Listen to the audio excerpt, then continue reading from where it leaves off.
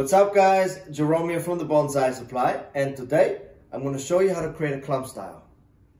Alright, a clump style is a, a, bunch of trees that are being potted close together and the base, so the root spread, they will uh, grow into each other and become one. So the root base is going to be one, but still with multiple trees coming out on top. So each tree that comes out on top, we're going to treat as an individual tree, but the base is going to be uh, grown into each other. So the species that we chose for today's clump style is the uh, Japanese maple arakawa, or also known as the rough bark maple. So as you can see, the tree is still green, but the rings here and up here it's starting to bark up. So that's an indicator that these are arakawas. Um, Arakawas are probably one of my absolute favorite Japanese uh, maple species just because of the rough bark and their fall colors are incredible. The leaves are a little bit larger than a regular Japanese maple, but it's going to be perfect for today's clump style. Um, the, the seedlings that we chose are just about three years old. Alright, so the first step, we're going to set up the pot and we chose this uh, oval unglaze pot. We're going to use two um, mesh wire screens and we're going to place them at the bottom so that the uh, soil doesn't fall out, but still water is allowed to drain. We take two wires, bend them in half, and then we're gonna use these uh, kind of as pins to make to stop the screen from moving so that the soil stays inside the pot. So we just push it all the way through and then just bend the ends over like this. And now this screen is not gonna move anymore and the soil is gonna stay inside of the pot. And do the same on the other side. Oops.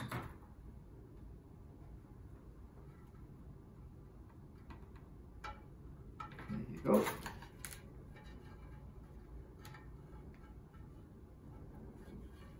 All right, next I'm gonna do the same. Uh, these tie down holes, I'm gonna run one wire this way and one wire, wire that way. And these wires we're gonna use to then tie down the trees into the position.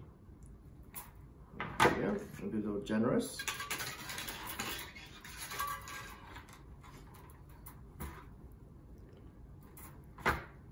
go, just bend them in half again.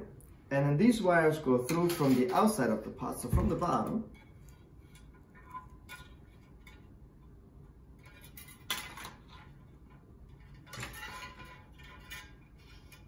There we go.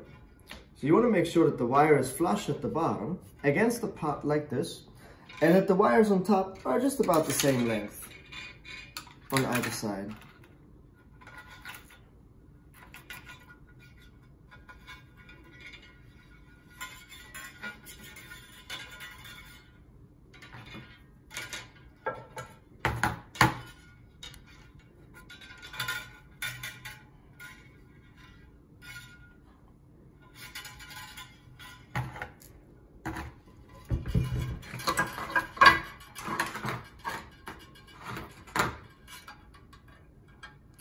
All right, so now the next step, since these um, seedlings that we have don't have a lot of roots and the roots are kind of fragile, we are going to build a little wooden frame out of chopsticks. And so the way that we're gonna do it is we're gonna place two this way and two this way.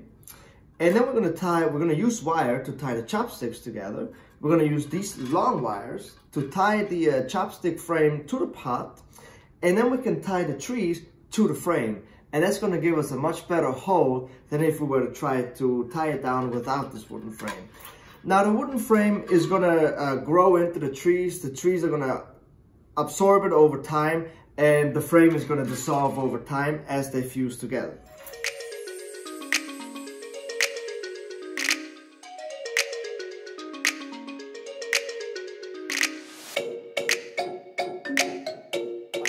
The wooden frame is tied into the pot, you want to make sure that it's tied in really well so that you can kind of do this. Um, you want to make sure that the frame is really sturdy so that once you try to tie the trees down onto the frame, that they don't rock back and forth too much. Now that this is set up, we're going to go ahead and use some thick wire and just wire the main trunk of the uh, seedlings so that once we place them into position, we can give them a little bit of movement. And one thing that's important to look out for if you want to make a larger tree, the uh, movement of the trees can be more subtle, but if you make a shorter tree, give it a lot more movement.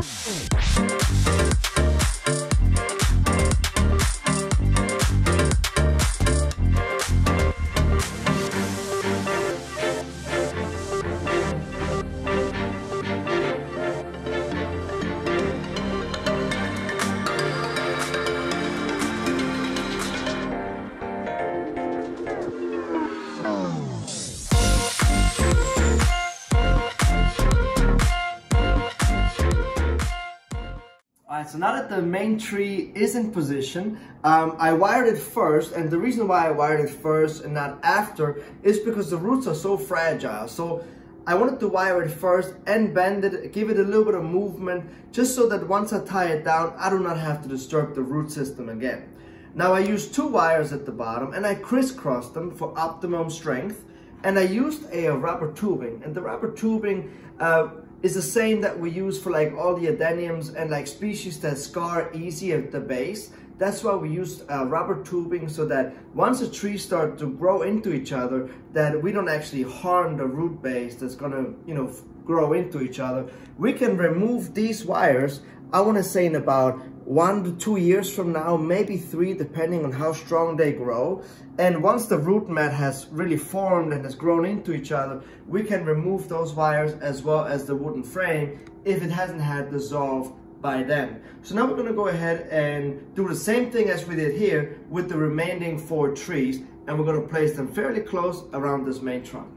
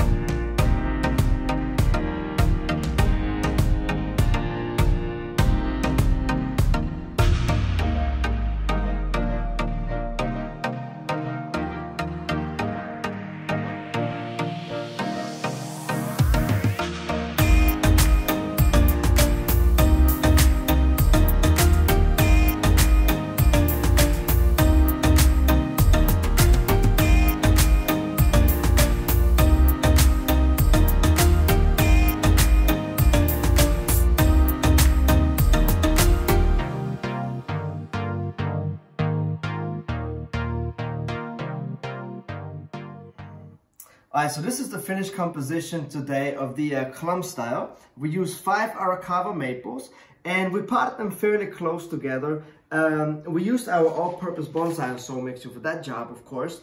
And then we used some uh, wire spacers just to kind of keep the trunks, you know, kind of push them away from each other. And we bent the trunks a little bit and gave them some movement as well um, I can see that the buds are now starting to like really actively push so I can tell that this tree or this composition will be in full leaves in a matter of just a few weeks. Um, I didn't trim it back obviously as you can see because I want to leave all the trees fairly large because I want them to grow much more because as this on top grows the roots will also grow and the faster they will intertwine and in, with each other um, so I'm gonna leave this tree pretty much grow for the next two years uncontrollably and not really do anything to it except, you know, water it well, keep it well fertilized, and keep it protected from insects. And that's pretty much it. Um, I hope that you guys enjoyed today's video. If you have any questions, make sure that you guys comment below or let me know what you guys think of today's composition. I think it came out pretty cool.